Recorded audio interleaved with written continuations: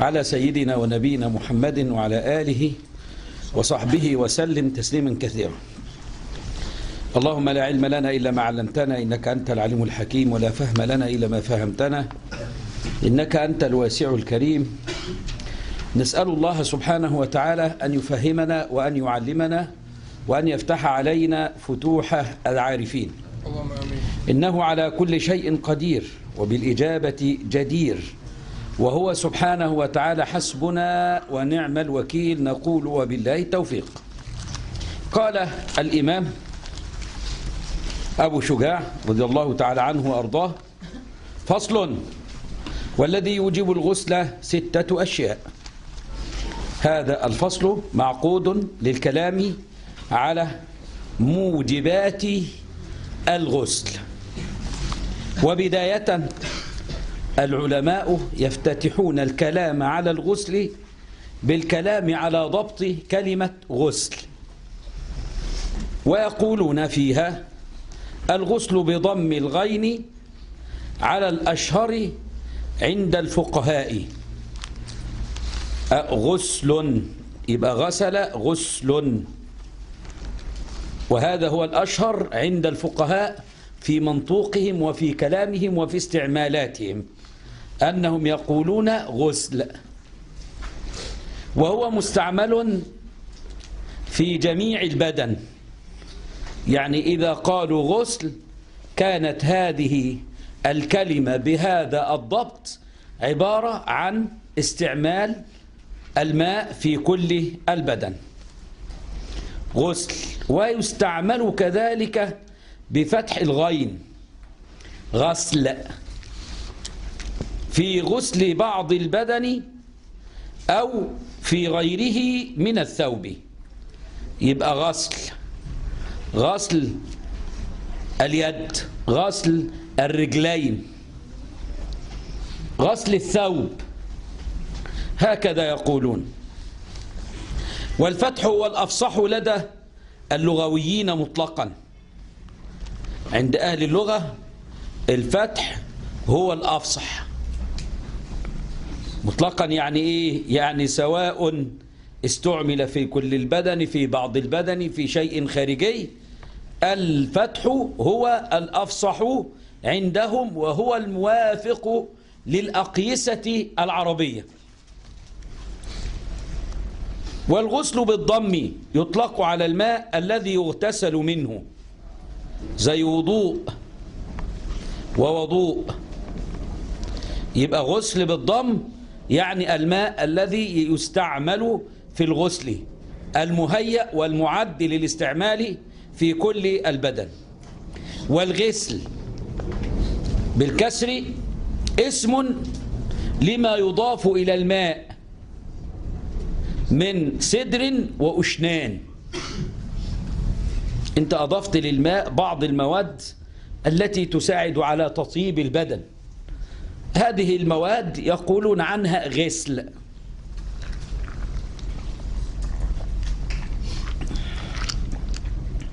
وما هو الغسل؟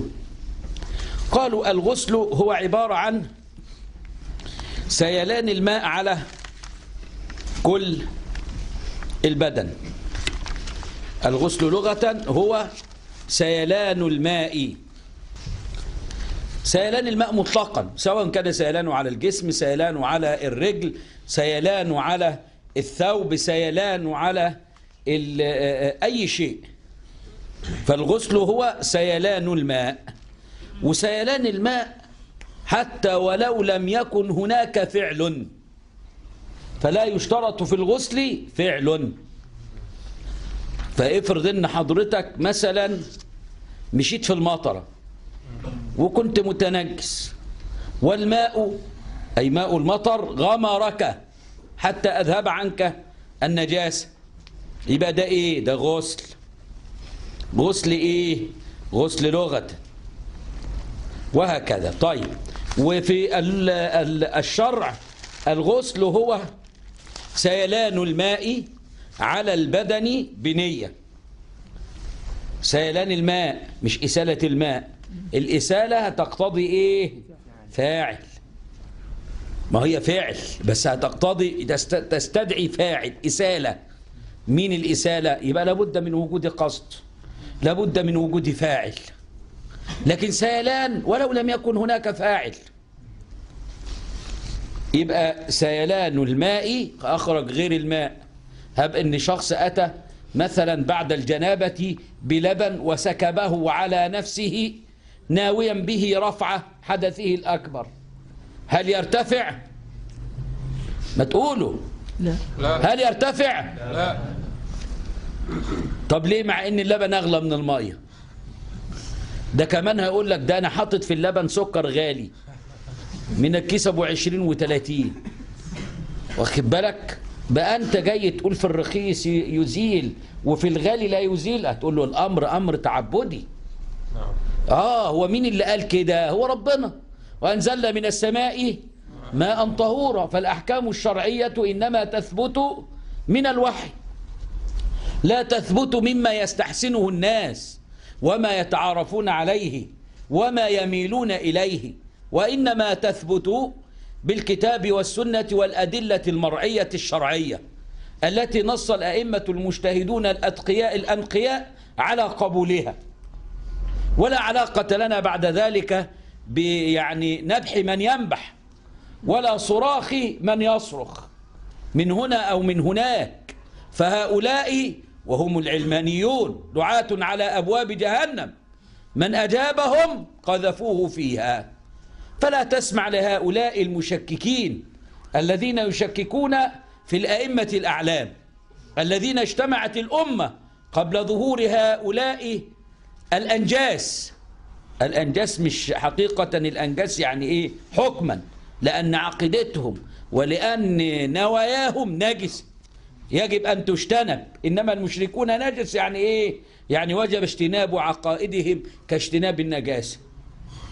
فهؤلاء دعاة على أبواب جهنم ينبغي ألا يلتفت إليهم أحد. فالأمة وثقت الأئمة الأربعة ووثقت البخاري ووثقت مسلم ووثقت رواة السنة. قبل أن يظهر هؤلاء المرقة الذين خرجوا عن دين الله. طيب يبقى سيلان الماء على جميع البدن بنية. يبقى سيلان الماء اللي هو غمر الماء لكل ال- الجسم. هذا ركن. والنية هذا ركن آخر. وسيأتي بعد ذلك أن أركان الغسل أمران. سيلان الماء على كل البدن والنية. وفي إزالة النجاسة خلاف بين النووي وبين الرافعي. هذا هو التعريف.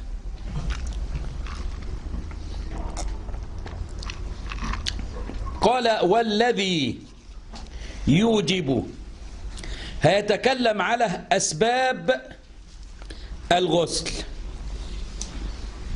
والأسباب جمع سبب.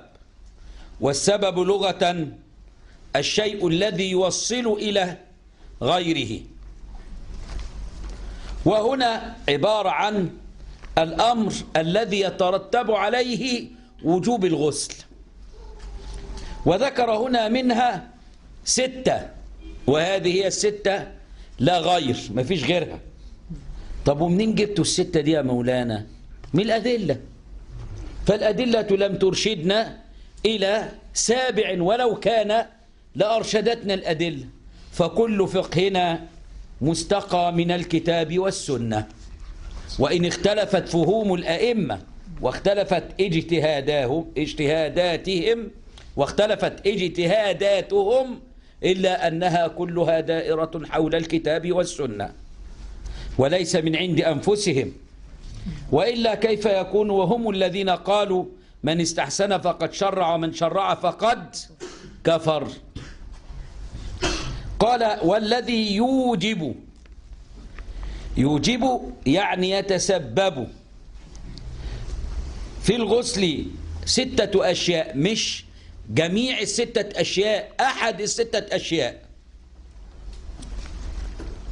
وهنا تكلم على المقصد الثاني من مقاصد الطهارة.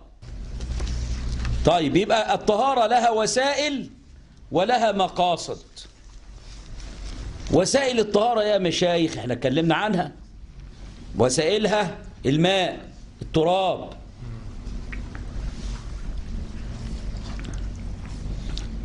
مقاصدها الوضوء الغسل التيمم.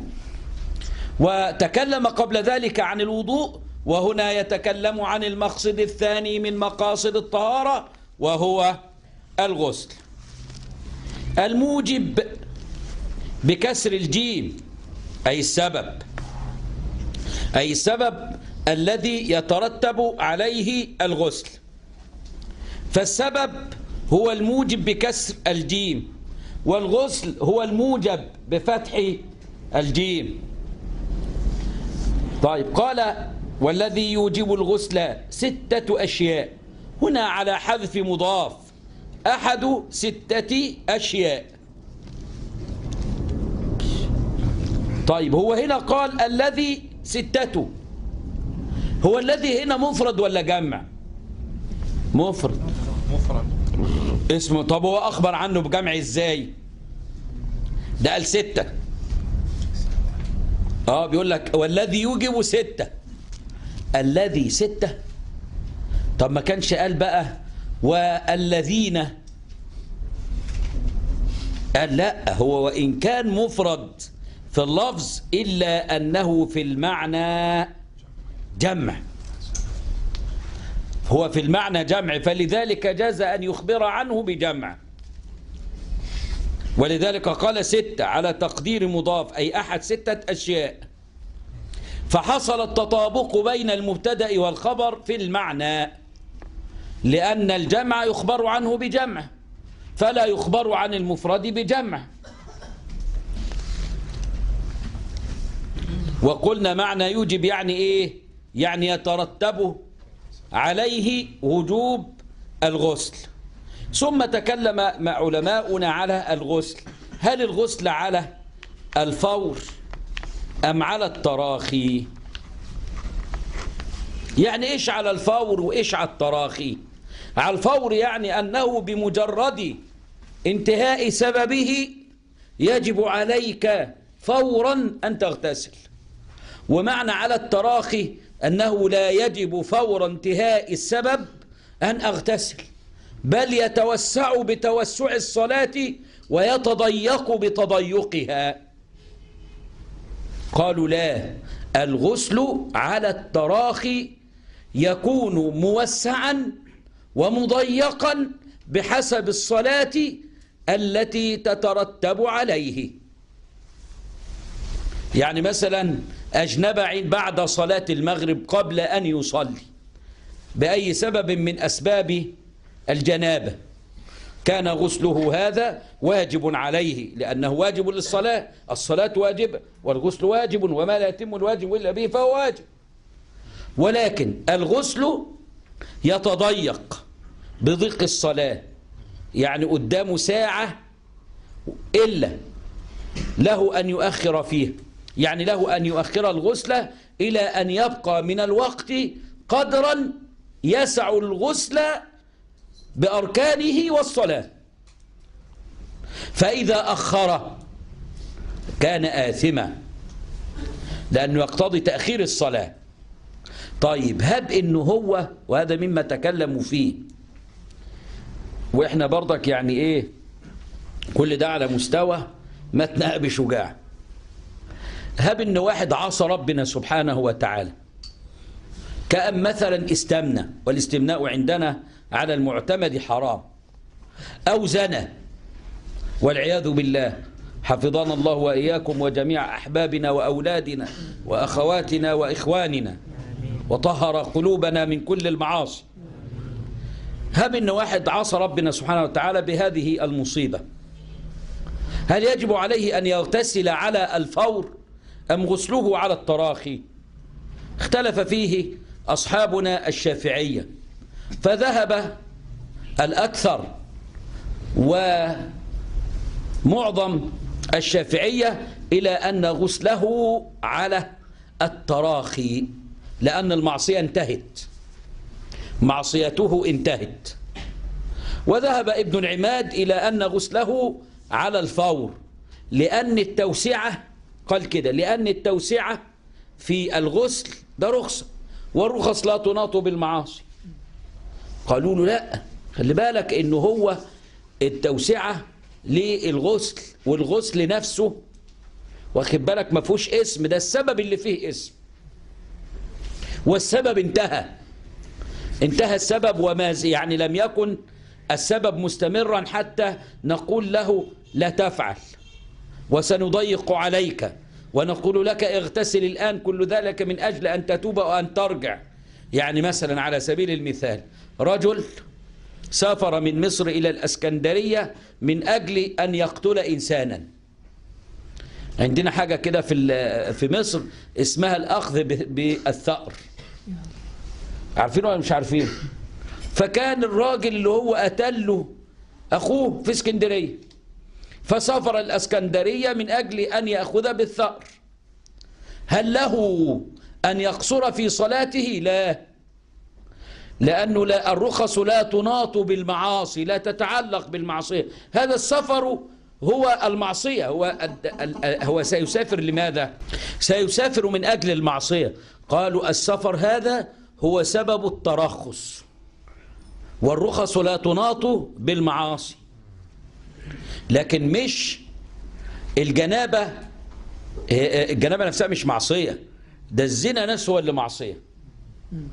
دي الجنابة ديت حالة حصلت بعد هذه المعصية.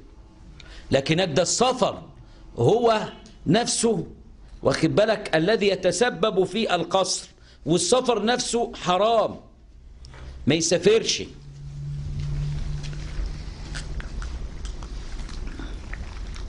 طيب على كل حال المسألة دقيقة ولطيفة. قال والذي يوجب الغسل أحد ستة أشياء. وقلنا بأن أشياء ممنوعة من الصرف وذكرنا فيها ثلاثة أبيات وشرحناها شرحا مطولا مفصلا لطيفا ظريفا في يوم ظريف مع طلبة ظرفاء. ثلاثة أشياء تشترك فيها الرجال والنساء وثلاثة أشياء تختص بالنساء. يعني أنا عندي الستة لدي هذه الستة أسباب ثلاثة منها خاصة بالنساء وثلاثة تشترك فيها النساء والرجال. قال تشترك فيها الرجال. والنساء يعني إيه بقى تشترك فيها؟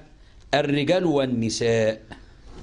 قالوا يعني أن الرجال والنساء يكونان محلا لها ومتصفين بها. طب وما المراد بالرجال؟ قالوا الرجال الذكور وإن لم يكونوا بالغين. والنساء وإن لم يكن بالغات. طب إزاي يعني الرجال يعني الذكور وإن كانوا غير بالغين؟ ما هو قالوا لأن عندنا أول سبب. هو إيه أول سبب؟ اقرأوا كده. التقاء الختانين. قالوا التقاء الختان يكون بين الرجال والنساء ويتصور التقاء الختان في الصبي والصبية. وفي الصبي مع المرأة وهكذا. طب هو الصبي هيخاطب بالغسل؟ نعم. يجب عليه أن يغتسل ولكن بعد البلوغ. فانعقد السبب في الصبا ولكن وجب عليه بعد ذلك عند البلوغ أن يغتسل. يبقى الصبي عندما فعل هذه فعل هذا هذا الالتقاء ما هو الصبي ما هو ممكن يكون متجوز. انت ليه دماغك راحة كده وراحة كده؟ صبي يعني عنده 12 سنة. ده إحنا بنتصور هذا. واخد بالك؟ كمراهق. وتزوج. وجامع. يبقى جنب ولا مش جنب جنب طيب. وإذا كان جنوب فما الذي عليه حينئذ؟ عليه إذا بلغ أن يغتسل. طب هل لوليه أن يأمره بالغسل؟ قال نعم كما أن له أن يأمره بالصلاة وبكل ما تتوقف عليه الصلاة ويأمره أن يغتسل من أجل أن يصلي وهكذا. والالتقاء كذلك متصور في حق الصبية بأن جمعت الصبية على هذا النحو فالتقى الختانان حينئذ فيجب عليها عند البلوغ أن تغتسل ويأمرها الولي بأن تغتسل قبل البلوغ كل هذه مسائل نتصورها ونعيها من أجل أن نفهم ما في الكتب. وأما إنزال المني إنزال المني ده لا يتأتى إلا مع البلوغ. لكن ذكروا هنا مسائل لطيفة. قالوا بأنه يعني إن نزل المني في القضيب ولم يخرج إلى الخارج فإنه يثبت به البلوغ. ولو كان في الصلاة بالنسبة لهذا الصبي وجب عليه أن يكمل الصلاة في هذه الحالة. وأجزأته عن صلاة الفرض. فيحصل البلوغ بظهور المني لا بخروجه. طب وهيعرف ده إزاي؟ معلش يعني تحملونا لأن كلها أسئلة وليس في العلم حياء. حدش يعني كسف يعني. لأنه هو ممكن يشعر بحركة ويشعر بشهوة وهو واقف يصلي هو صبي صغير مراهق. طيب وكيف يمنع من خروج المني؟ ممكن إن هو يمسك الذكر حتى يعني لا يخرج المني وبعد ذلك يكمل صلاته. ما ملهاش تصور إلا هذا. وهكذا سمعناها من مشايخنا. وأما الموت فإنه يكون في الصغير وفي الكبير وهو سبب من الأسباب. قال تشترك فيها الرجال والنساء وهي التقاء الختانين. والختان خاص بالرجال. وأما النساء فيسمى محل القطع عندهم خفاض خفاض وليس ختان. طيب يبقى التقاء الختانين يعني ختان الرجل وخفاض المرأة. وسمي في الحديث ختانين تغليبا لمحل الرجال على محل النساء.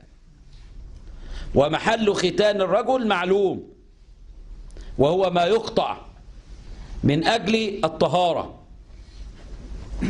وأما ختان المرأة معلوم أنه فوق محل الجماع. قال إذا التقى الختانان. أي تحاذيا. التقاء الختان مع الخفاض معناه التحاذي بسبب الجماع. لا بمعنى الالتقاء. يقال في اللغة التقى الفارسان. يعني إيه التقى الفارسان؟ يعني تحاذيا. أصبح كل واحد قصاد الثاني محاذيه معنى إيه محاذيه يعني أهو زي أنا وأخونا الأقرع ده. إحنا الاثنين بيننا تحاذي بمعنى إن لو أخذت مني اشعه ستصل إليه عمودية ولو أخذت منه أشعة تصل إلي عمودية. هذا معنى التحاذي أنه في مقابلتي محاذي لي مساوي لي في الجهة. فمعنى التقاء الختانين معناه هذا التحاذي الذي يحصل بسبب دخول بسبب الجماع. طيب. إذا تحاذيا فالمراد بالالتقاء التحاذي بسبب الدخول.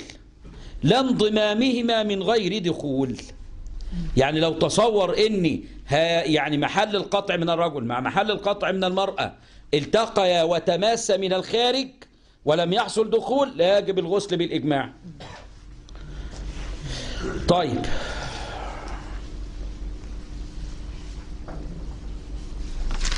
طب الحديث بيقول إذا التقى الختانان فقد وجب الغسل. هنقول له ده جرى على الإيه؟ ده في تغليب. تغليب لمحل القطع من الرجل على محل القطع من المرأة وهل يشترط في ذلك الإنزال؟ يعني هل يشترط في الالتقاء الختانين؟ إنزال؟ لا لأن الحديث قال وإن لم ينزل. وأما الأخبار التي تدل على اشتراط الإنزال كحديث إنما الماء من الماء فقد ذكر علماؤنا أنها منسوخة. وابن عباس رضي الله تعالى عنه حملها على الاحتلام. إنما الماء من الماء يعني إيه؟ قال يعني دوت محمول على الذي احتلم ورأى الماء في ثوبه بعد استيقاظه فعليه أن يغتسل. وأما إذا لم يرى الماء بعد أن قام من من النوم وكان في حلمه أنه قد يعني جامع قال لا شيء عليه. فده واضح أهو. طب يعني إيه بقى؟ التقاء. قال التقاء معناه دخول. مش إدخال في فرق ما بين دخول وإدخال. معلش تحملونا في هذا الدرس. الدخول معناه أنه يحصل بدون فعل. ولو بلا قصد. إزاي يعني؟ يعني ممكن كما في كتب الفقه وحضراتكم هتقرأوا انه هو يحصل إن هو ينام والمرأة تستدخله وهو, وهو نائم. زوجته يعني. يبقى هو قصد إن هو يجامع ما قصدش. قصد إن هو ده, نائم والنائم لا قصد له. يبقى الدخول ولو بلا قصد. ولو من غ... ولو في غير آدمي. حتى ولو أدخل ذكره في بهيمة. وجب عليه أن يغتسل. لأنه فرج. قالوا والمعتبر من من دخول أي دخول الحشفة. حشفة الرجل وهو محل القطع في الختان.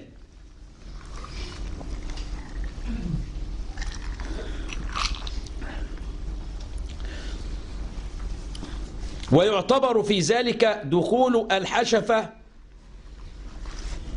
كلها دخول الحشفة كلها. فلو أدخل بعضها لم لا يجب عليه الغسل. يبقى لابد أن يغيب الحشفة بكمالها وتمامها. حتى وإن كانت مكانة طب ولا اعتبار بغيرها مع وجودها. ده دي مسائل كلها الفقهاء بيتصوروها. افرض إنه هو يعني ثنى ذكره وأدخله من غير الحشفه هل يجب عليه الغسل؟ قالوا لا. لأنه ما أدخلش الحشفه يبقى لا اعتبار مع بغيرها مع وجودها. في فرج دبرا أو قبلا يعني سواء جماعة في الدبر أو جماعة في القبل وجب عليه الغسل. إذا والجماعة في الدبر حلال لا حرام. هب أنه ارتكب الحرام وارتكب المعصية والإثم. هل يجب عليه أن يغتسل؟ نعم يجب عليه أن يغتسل. خلي بالك إحنا بنتكلم على إيه؟ وجوب الغسل. ولا علاقة لنا بأن ده حرام أو أن ده حلال.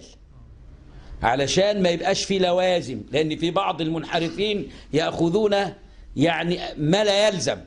يقول لك أصل الإمام البخاري روى لا يقتل مسلم بكافر وما دام لا يقتل مسلم بكافر يبقى يفهم من ذلك إن الحديث بيحرض على قتل الكافر. شايف التخلف العقلي؟ مين اللي قال لك الكلام ده؟ انت فهمته بأي طريقة من من الطرق اللغوية؟ بدلالة المنطوق ولا بدلالة المفهوم ولا بدلالة الإشارة ولا بدلالة العبارة ولا ب... ولا بالدلالة إيه؟ ولا بالدلالة الهبلية. ما هو في اليومين دول في حاجة اسمها دلالة الهبل في الجبل. أي حاجة في أي حاجة. ده بلاء عظيم. أي حاجة في أي حاجة. مصيبة زرقاء.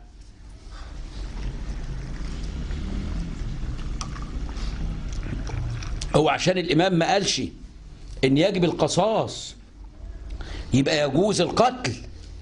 تخلف ال ال ال ال العقل ده. بلاء ربنا يستر عليكم من هذا البلاء. في فرج دبرا أو قبلا. طيب قال وأيضا لو أولج في ميت. هو في حاجة زي كده؟ آه والله سمعنا عن حاجة زي كده. هل اللي أولج ده يعني يجب عليه أن يغتسل؟ نعم لأنه أولج في فرج في فرج. طب والميت؟ قالوا الميت لا يعاد غسله. خلصنا من البتاع دي.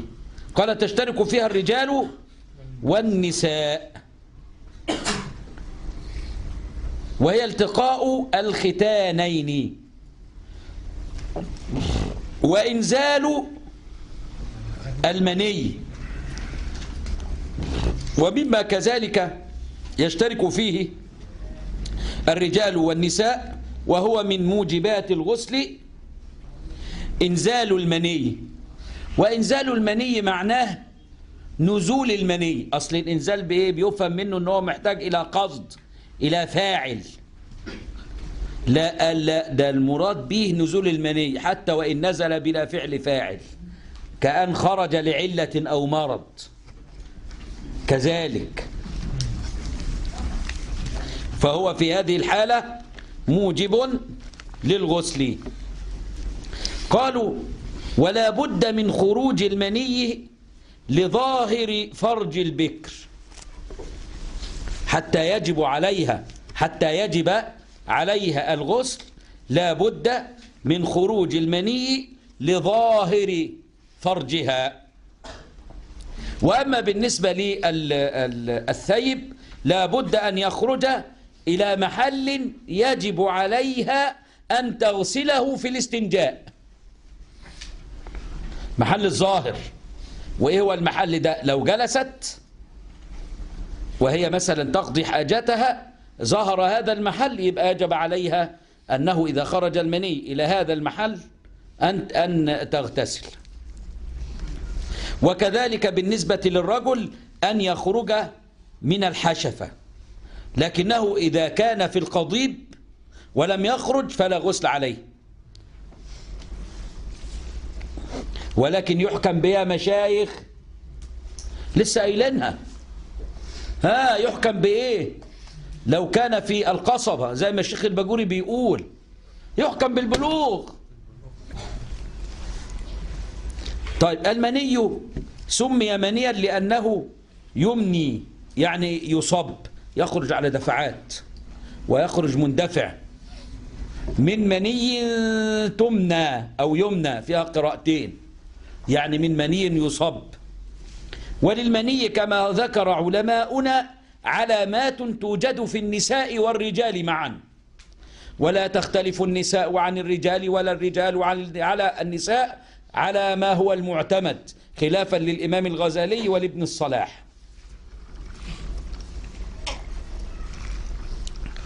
انتبه لأن كل اللي إحنا بنقوله ده أنتم محتاجون إليه من حيث التعبد. طيب قال أولا التدفق. يعني إيه يتدفق يعني يخرج دفعات. دفعة. ها طيب. ورقم اثنين اللذة. وإن لم يتدفق يعني أن يشعر الإنسان بلذة عند خروجه.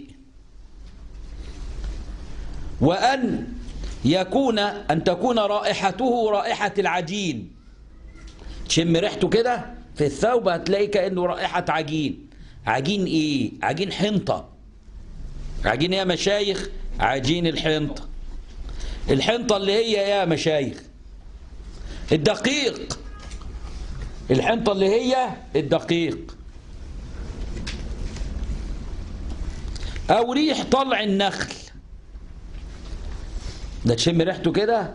هتلاقيه كأنك بتشم رائحة طلع النخل.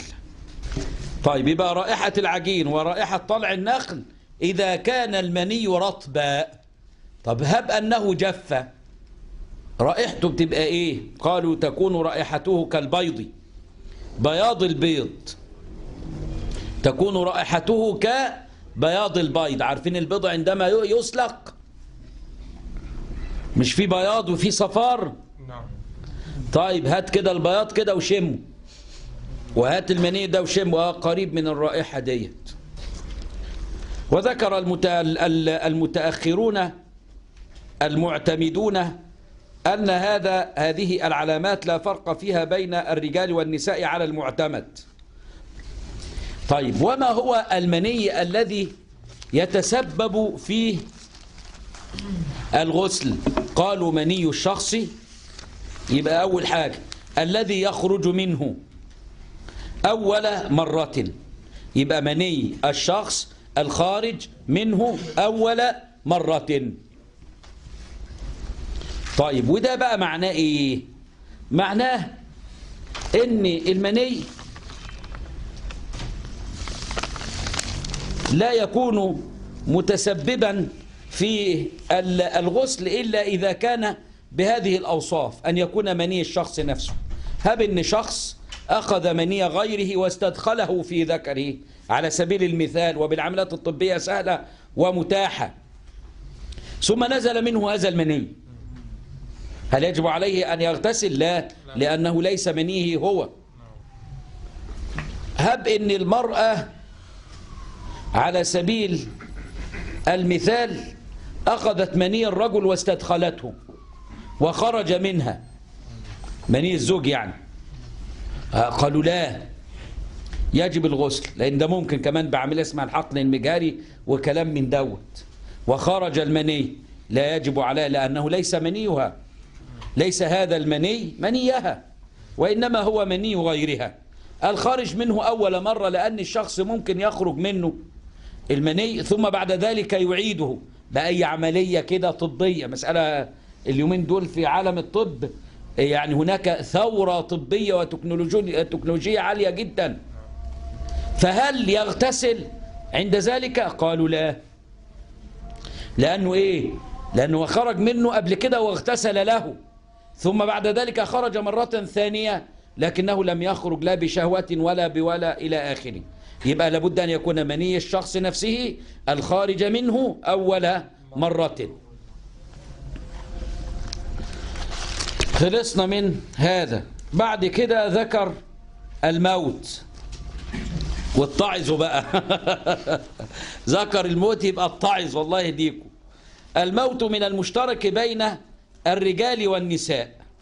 إيش هو بقى الموت؟ قالوا الموت عدم الحياة عما من شأنه أن يكون حيا عدم الحياة. عما من شأنه أن يتصف بالحياة.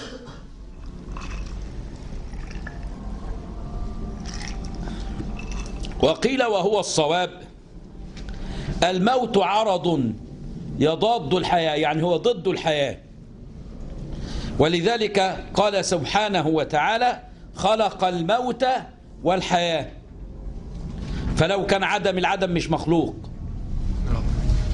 أما لو كان صفة وجودية. يبقى مخلوق. طيب. الموت يوجب الغسل إلا في حالتي في ثلاثة أحوال.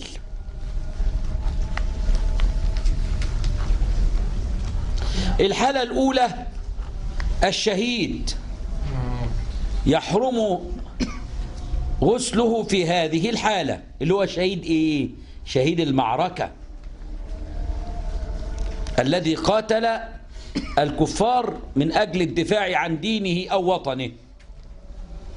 يعني الشهداء زي شهداء سينا دول شهداء الإيه؟ شهداء الدنيا وهؤلاء الذين يحرم غسلهم. أما شهداء الآخرة الذين نص عليهم رسول الله صلى الله عليه وسلم المبطون والميت غيلة والمهدوم والمحروق وإلى آخره فهؤلاء شهداء الآخرة. يغسلون ويصلى عليهم. أما شهداء المعركة وسوف نتكلم عليهم عند الكلام على الشهيد وأحكامه ونضع ضابطا وتعريفا لهذا فهؤلاء يحرم غسلهم. لأنهم يبعثون يوم القيامة على حالتهم التي استشهدوا عليها. وإلا الكافر فالكافر لا يجب غسله بل يجوز غسله. طب لو ما غسلتوش؟ والله معليش إثم. طب غسلته؟ والله أنت كده احترمت الإنسانية. لك في ذلك ثواب. وإلا السقط حيث لم تعلم حياته ولم يظهر خلقه. السقط أو السقط أو السقط مثلث السين. يعني إيه؟ يعني الذي خرج قبل أشهره. لم تعلم حياته سوف نتكلم عليه في الكلام على غسله. الميت. فهؤلاء الثلاثة لا يجب غسلهم. وثلاثة تختص بها بها وثلاثة تختص بها النساء. يعني النساء محل لها دون الرجال. منها الحيض. والحيض يوجب الغسل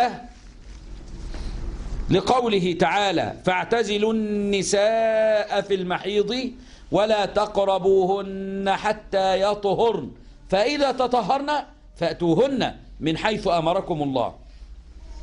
طب فين هنا الدليل؟ ده بيقول فاعتزلوا النساء في المحيض ماشي ولا تقربوهن حتى يطهرن. فإذا تطهرن فإذا تطهرن فأتوهن من حيث أمركم الله. فين الآية؟ ده الآية ما قالتش وجب على النساء التطهر.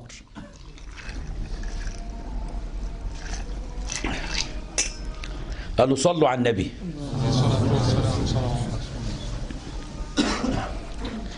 المرأة يجب عليها أن تمكن زوجها من الوطء صح؟ صح. ولا يجوز التمكين إلا بالغسل. وما لا يتم الواجب إلا به فهو واجب فأصبح الغسل إيه؟ واجب. فإذا تطهرن فأتوهن. ده أمر إباحة. يعني يجوز لكم أن تأتوا النساء بعد التطهير. طيب والمرأة ممتنعة على أن يعني تمنع زوجها من أن يمسها ووجب عليها شرعا أن تمكنه. والتمكين لا يحصل إلا بالغسل ده هي والتمكين واجب عليها. صح؟ والتمكين ده ما بيحصلش إلا بالغسل. فأصبح التمكين الواجب متوقف على الغسل. فما لا يتم التمكين إلا به فهو واجب يبقى الغسل. واجب. واجب طب الحيض. الدم الخارج من امرأة. خرج الرجل ما بيخرجش منه دم حتى لو خرج منه دم من أي محل ما مش حيض. ده قال الحيض هو الذي يخرج من النساء. دم خارج من المرأة. أي امرأة؟ قال لا امرأة بلغت تسع سنين. طب لو خرج من المرأة قبل تسع سنين بيبقى دم فساد. ما يسقاش استحاض استحاضة يا مولانا؟ استحاضة. الصغيرة تستحاض دم فساد. على سبيل الصحة. يعني خرج منها على سبيل الصحة. يبقى هو ده الحيض وإن شاء الله هنتكلم عليه عندما نأتي إليه وأنه يخرج من عرق اسمه العاذل أو العادل. كلام طويل. والنفاس. هذا هو السبب الثاني من أسباب يعني من الأسباب الموجبة للغسل وهو الدم الخارج عقب الولادة. دم الخارج عقب الولادة. فلو خرج بعد خمسة عشر يوما من الولادة فهو حيض وهذه المرأة لا نفاس لها. لو خرج منها بعد الخمستاشر يوم من الولادة يبقى ده حيض مش, مش نفاس. يبقى النفاس لابد أن يوجد بعد الولادة وقبل مضي خمسة عشر يوما.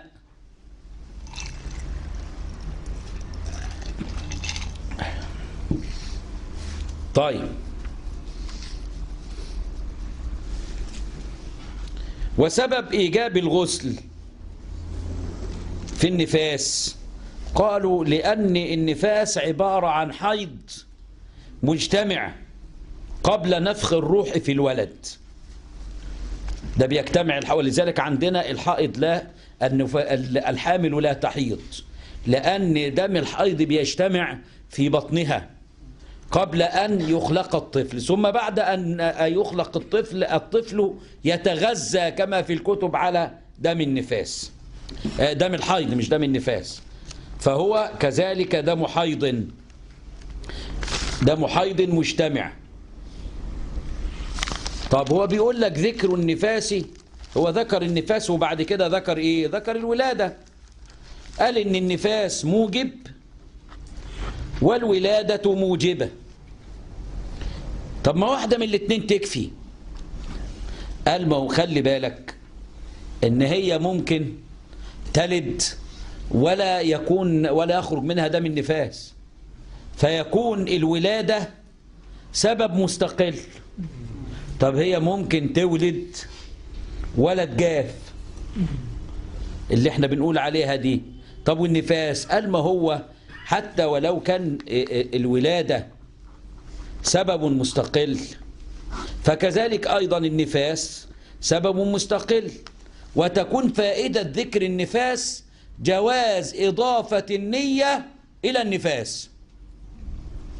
تقول مثلا رويت نويت رفع حدث النفاس مع إنها نفست وولدت. فلو أضافت النية إلى النفاس صح يعني غسلها وجاز. يبقى جعله سبب معناه إيه؟ معناه أنه تجوز إضافة النية إليه. أو إلى الولادة لا بأس. الولادة بعد النفاس الولادة. الولادة سبب من أسباب الموجبة للغسل طيب افرض إن هي كانت حامل في يعني جنينين. وأنزلت أحدهما. ولم ترى. لم ترى نفاسا. هل يجوز لها أن تغتسل؟ قالوا نعم. يجوز لها أن تغتسل حتى وإن لم تلد الآخر. ثم بعد فترة شهر ولا حاجة ولدت الآخر. ليه بقى؟ لأنه التوأم معناه وجود جنينين في بطنها. واخد بالك؟ وأن يولد الثاني قبل أن يولد الثاني يعني بعد ولادة الأول بأقل من ستة أشهر. لأن لو كانت بعد ستة أشهر هيبقى جنين جديد مش القديم. طيب خلصنا من هذا. يصح ولادة الآخر ثم إذا ولدته. طيب وجب الغسل يبقى هتغتسل بعد الأول. وكذلك لو كانت هناك مساحة زمنية بينهما تغتسل بعد الثاني. طب ما حكم المضغة والعلقة هل يجب لهما غسل ويكونان في حكم الولادة.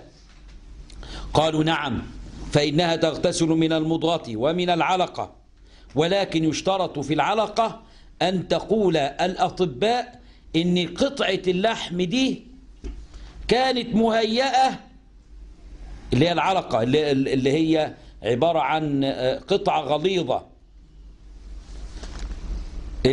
العلقة أن يخبر القوابل بأنها أصل أدمي. قوابل يعني يقصد بهم الأطباء. كورة كده هو كورة دم. العلقة كورة دم. المضغة حتة لحم. يجي كده الأطباء يقولوا لها والله خلي بالك الكورة دي كانت أصل أدمي. طب وإيه الحكم بقى؟ خلاص ما دام أنزلتها وجب عليها أن تغتسل. طب افرض إن هي ألقت بعض الولد. يعني الواد خرج بعضه والبعض التاني لسه جوه. طب ما الذي يجب عليها؟ عايزة تتوضا وتصلي. وكل ده موجود ده كل ده بس من أجل تمرين الفكر. واخد بالك؟ يعني ده مش موجود آه في الواقع نادر جدا جدا ولم نرى حالات مثل هذه. ولكن كل ده من أجل تدريب الفكر يا مشايخ. تدريب الفكر على إيه؟ تدريب الفكر على إجراء الأحكام والاستنباط وهكذا. فبعض الواد جوه وبعض الواد بره. قالوا تتوضأ. ثم تصلي. ثم بعد ذلك إذا خرج بقية الولد عليها أن تغتسل.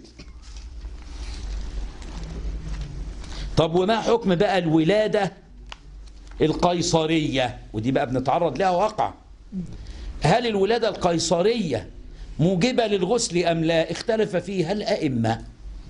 والراجح المعتمد أنها موجبة للغسل وهو خروج الولد من غير محله. طيب. خلصنا من الفصل الأولاني وفرائض الوضوء فصل هنا بقى في ملمح لطيف جدا نبه عليه أحد كبار الشراح. قال إن في بعض النسخ من متن أبي شجاع بها كلمة فصل.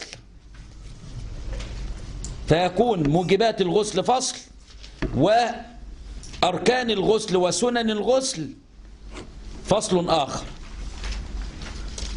وهناك بعض النسخ ليست بها كلمة فصل. ولذلك قال النفاس والولادة وفرائض الغسل. وهذه النسخة على هذه النسخة يعني الذي ليس فيها فصل يكون الفصل السابق والذي يوجب منعقد لثلاثة أشياء. الشيء الأولاني موجبات الغسل. أركان.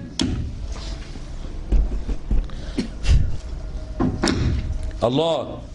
أركان الغسل سنن الغسل يبقى ثلاثة أشياء. طب وما هي الأركان؟ قالوا الأركان هي الأشياء التي لا بد منها في تمام الشيء. يعني لا يوجد الشيء ولا يتم إلا بها.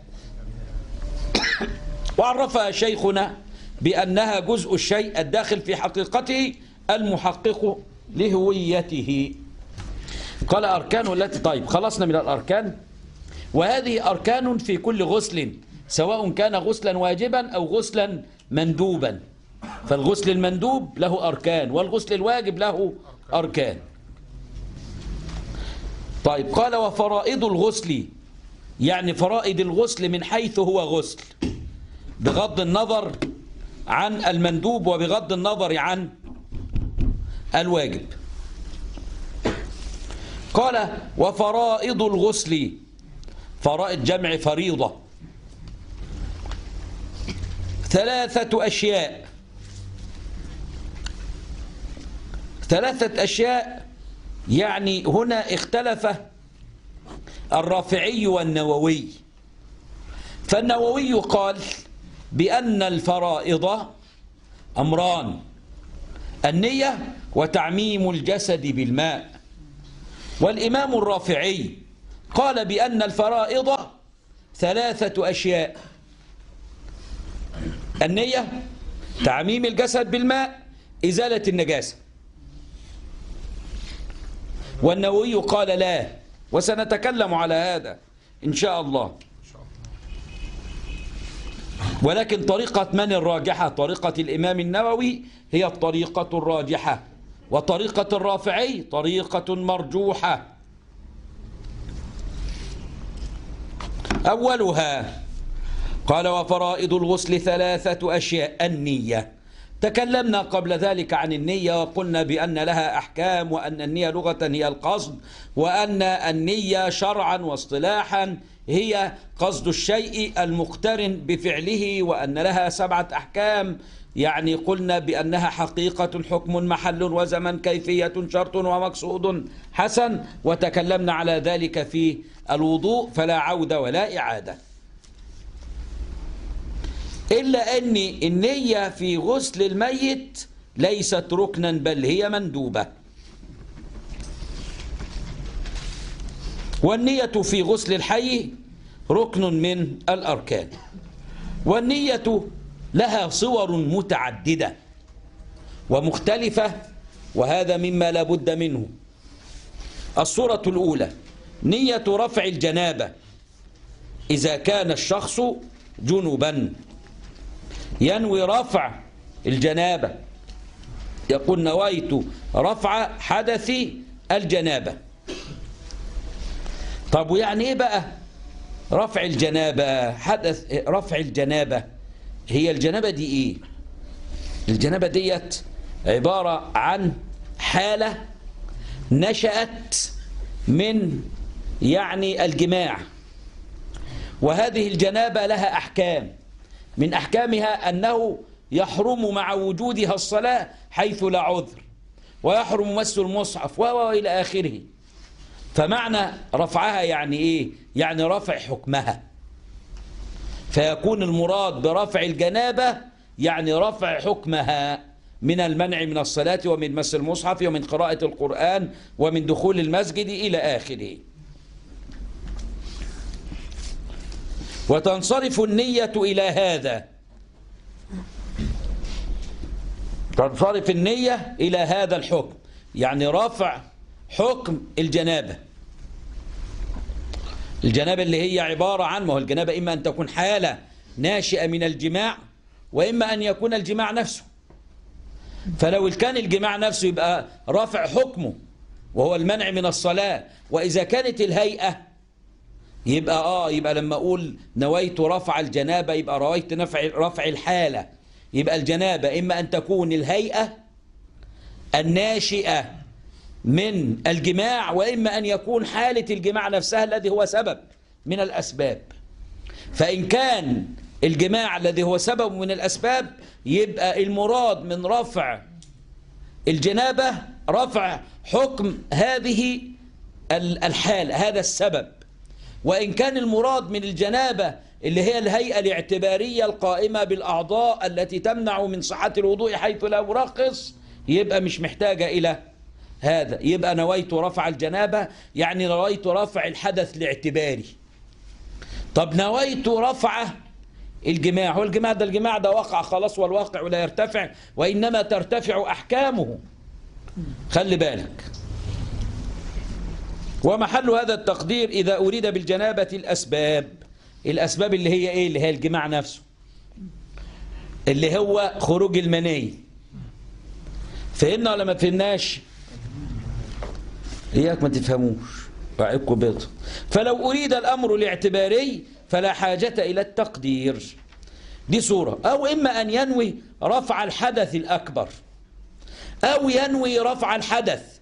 وينصرف مع هذا إلى الحدث الأكبر بقرينة أنه عليه. يعني أن يقول نويت رفع الحدث الأكبر. فيكتفى منه بذلك. أو يقول نويت رفع الحدث.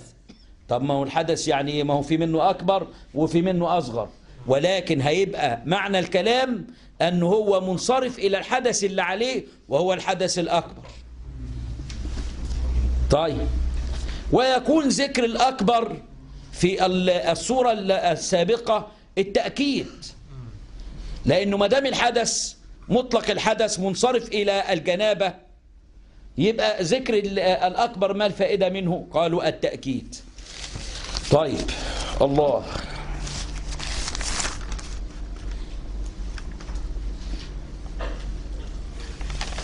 ومثل ما مضى لسه في النية إحنا برضك. نية استباحة الصلاة.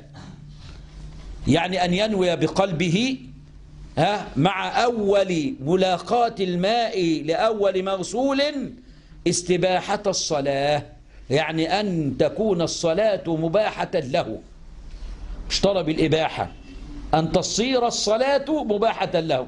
يبقى الألف والسين والتاء هنا ليست للطلب وإنما هي للصيرورة. مش طلب إباحة الصلاة. مش نية طلب إباحة الصلاة لأ. ده نية صيرورة الصلاة مباحة لي. يبقى الألف والسين والتاء هنا للإيه مشايخ؟ للصيرورة. يا سلام. هو ده العلم. قال أو فرض الغسل أو ينوي يا مولانا فرض الغسل أو الغسل المفروض أو الغسل الواجب أو أداء الغسل. طب ينفع يا مولانا أن أنوي الغسل كده أقول نويت الغسل؟ بعد مثلا أحد هذه الأسباب قالوا لا لأن الغسل كما يكون عادة يكون عبادة. فلا بد من وجود وصف يميز العادة من العبادة ما هو الغسل عادة إزاي؟ في غسل التبرد داخل كده يغتسل يغسل جسمه ينظف من الأشف اللي عليه. يبقى ده آه ده عادة. طب والغسل العبادة اللي هو بتاع الجنابة؟ يبقى لابد حينئذ من وجود نية فاصلة. لما يقول أداء الغسل آه أداء الغسل يبقى ده قرينة على إنه الغسل الشرعي. لما يقول الغسل المفروض قرينة على إنه الغسل الشرعي. لما يقول الغسل الواجب يبقى قرينة على إنه الغسل الشرعي. طب وهل تكفي نية الطهارة؟ بخلاف آه ولا تكفي نية الطهارة. طب أنا هنوي بقى وأنا بغتسل كده الطهارة. لا ما ينفعش. لأن الطهارة متعددة الأطياف كما تكون عن حدث تكون عن نجس فهي مختلطة لابد من وجود ماء يميزها. هب إن هو نوى غير ما عليه. كان عليه حدث ونوى حدث تاني. قالوا إن كان غالطا فعل هذا غلطا صح وهو معذور. وإن فعل هذا عامدا لا يصح لأنه متلاعب. طيب إيه بقى صورة القضية ديت؟ قالوا بأنه هو موجود الكلام ده عندكم في الكتب. أن يكون يعني شخصا خنثى كان ليه آلة رجال وليه آلة النساء. يحيد من هذه ويمن من هذه. والحمد لله ربنا سبحانه وتعالى أكرمه وتبين حاله وأصبح ذكر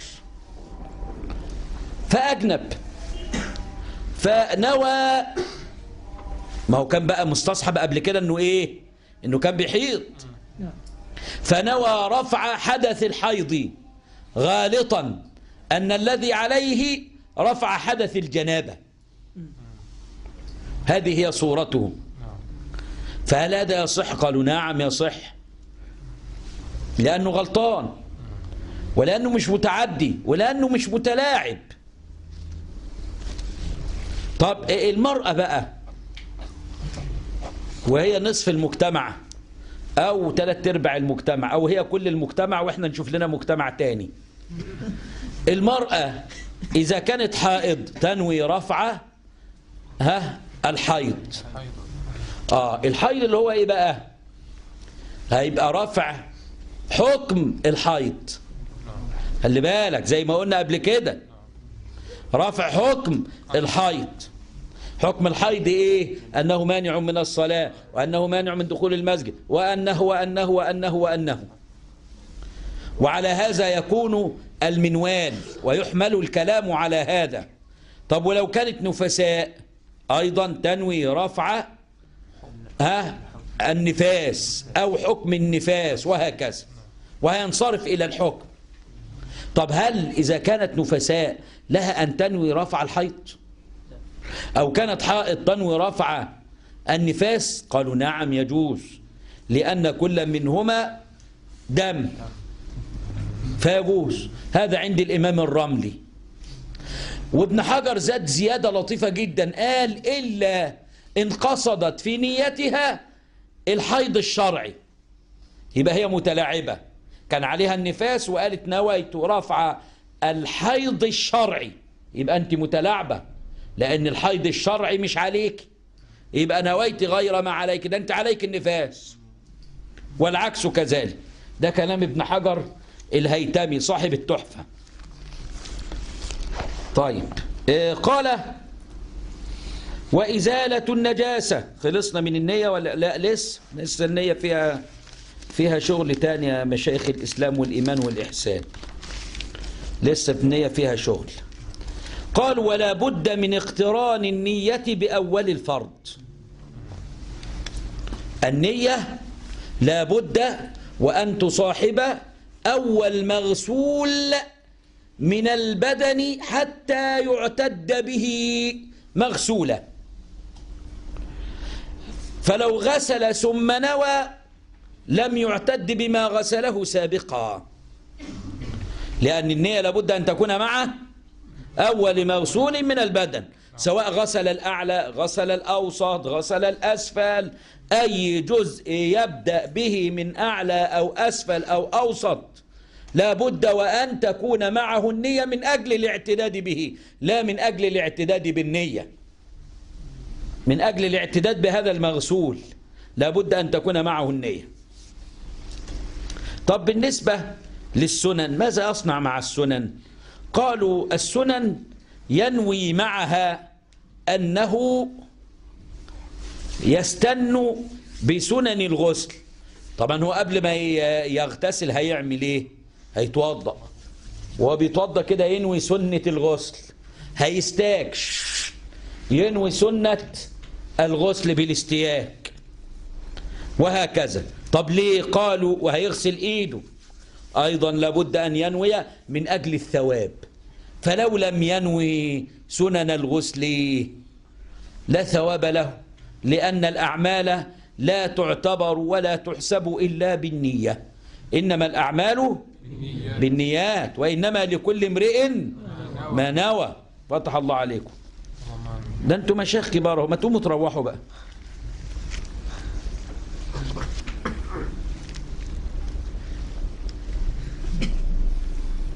طيب خلاص ولو لم تكن مقرونة وجوب القرن ما؟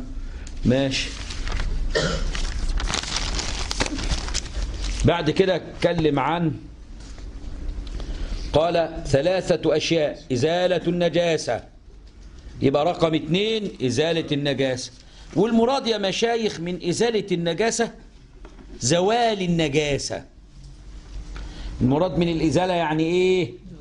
يعني الزوال يعني لا يشترط في إزالة النجاسة فعل فاعل. فلو كان هو متنجس بنجاسة مخففة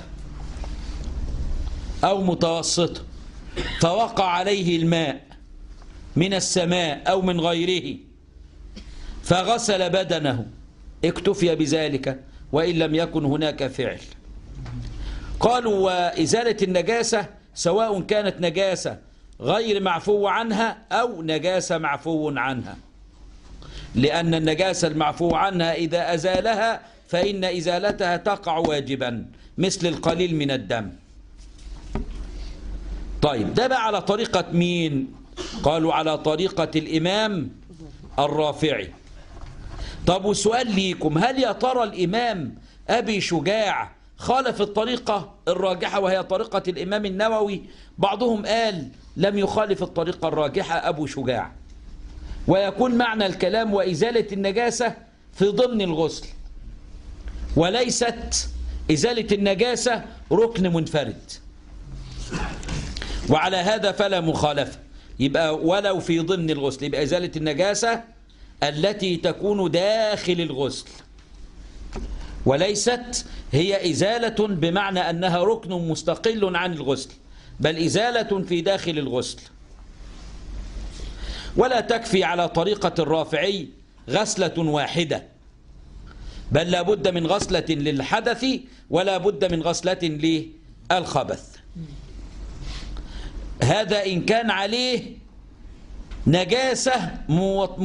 يعني غير مغلظة إن كانت عليه بقى نجاسة مغلظة قالوا يجب عليه أن يغسلها سبعا إحداها بالتراب ثم بعد ذلك يغتسل غسلة أخرى عن الغسل. يبقى سبعة بالتراب عن النجاسة وواحدة عن الغسل على طريقة الإمام الرافعي. طب الخلاف في كل النجاسات لا الخلاف ما بين الرافع والنووي في أنه هل يكتفى بغسلة واحدة في الحدث والخبث؟ الخلاف إنما يكون في النجاسة الحكمية وهي التي ليس لها طعم ولا لون ولا رائحة. دي اسمها نجاسة إيه؟ حكمية. بمعنى أن هذا المحل اتصف بالنجاسة وحكم عليه بها وأنه يجب غسله. إزاي يعني؟ آه بسيط. انت حضرتك يعني اصابتك نجاسة واخد بال حضرتك؟ يعني كأنبال طفل على ثوبك. وطفل يأكل الطعام يا سيدي. ثم جف الثوب. جميل. ولم يبقى له رائحة لا لون ولا طعم. دي بقى دي نجاسة إيه؟ دي بقى وجب إيه؟ دي بقى حكمية أهو. لأنه لا لون لها ولا رائحة ولا شم ولا أي حاجة. ولذلك تجب ها أن يجب عليه أن يغسلها. وقعت نقطة بول على إيدك. ووضعتها هكذا في الشمس. فجفت ولم يظهر لها لون ولا طعم ولا رائحة. تبقى دي نجاسة حكمية اهي يبقى هل يكتفى يكتفى فيها وحضرتك بعدها أجنبت؟ بعد أن تلوثت يدك أو أصيبت يدك بالنجاسة حصلت لك الجنابة. ما الذي يجب عليك؟ يجب علي أن أغتسل. هل يكفي لهذا المكان الذي أصيب بالنجاسة غسلة واحدة عن الحدث وغسلة واحدة عن النجس الرافعي والنووي اختلفا. فالنووي قال تكفي غسلة واحدة لأن الماء له قوة الرفع وقوة الإزالة معا. قوة رفع الحدث وقوة إزالة النجس. والرافعي قال لا الماء ليس له إلا قوة واحدة. إما أن يرفع الحدث وإما أن يزيل النجس. طيب يبقى محل الخلاف فين؟ في النجاسة الحكمية. طب وما المراد بالنجاسة العينية؟ قالوا المراد بالنجاسة العينية يعني ما لها طعم أو لون أو رائحة أو لها جرم. طيب قال بعد ذلك وإيصال الماء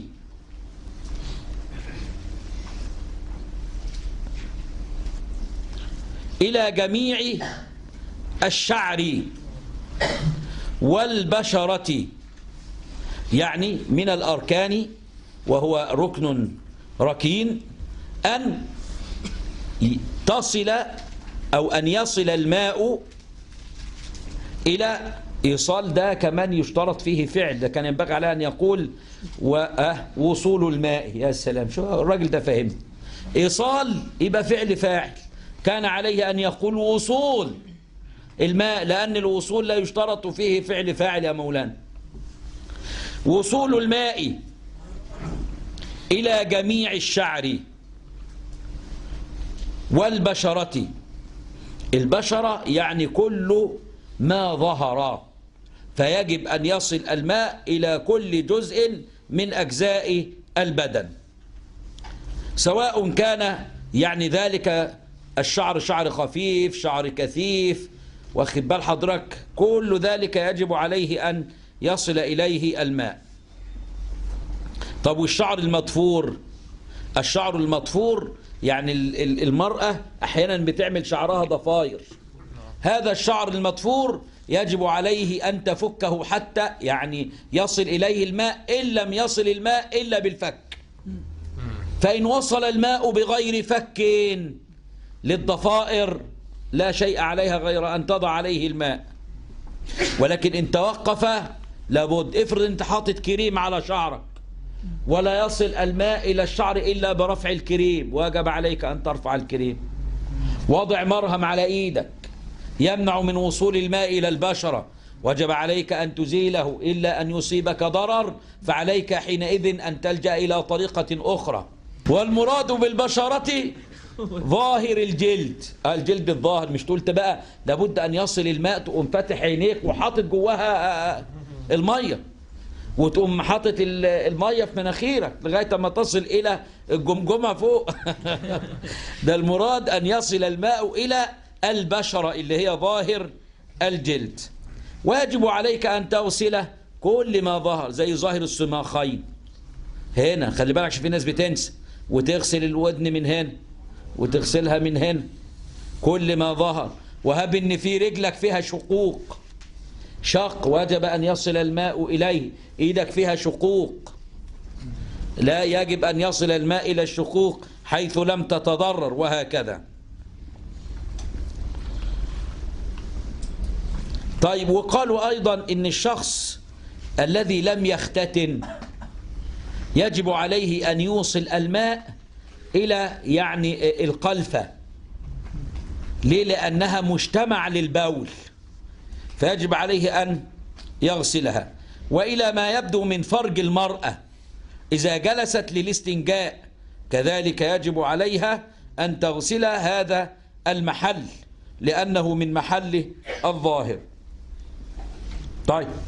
بعد كده قال وسننه خمسة أشياء. طيب هنقف عند السنن؟ كويس قوي كده نقف عند هذا. وإن شاء الله في الدرس القادم يا أخوانا ندرس يعني اللي هو الأغسال المسنونة لأن إحنا عايزين في كل محاضرة نق- نقف على فصل.